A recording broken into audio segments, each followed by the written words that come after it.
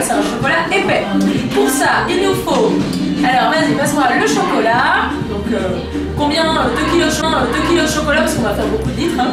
Euh, on a utilisé du lait. Attention le lait. 8 litres de lait, pardon, oups, j'ai oublié la quantité. Euh, il nous faut un petit peu de sucre, de la vanille euh, et un petit peu de cannelle, ça c'est ce que les enfants aiment. Et le fait que ce soit un chocolat espagnol, c'est un chocolat qui est épais, donc on va rajouter de la maïzena pour faire épaissir. Maïzena. Et on a pris du potiron bio histoire de pouvoir laisser la peau. Ensuite, nous allons avoir besoin de sucre, de farine, de beurre, donc ça c'est le gâteau normal, euh, levure, pincée de sel. Et ce qui va donner du goût au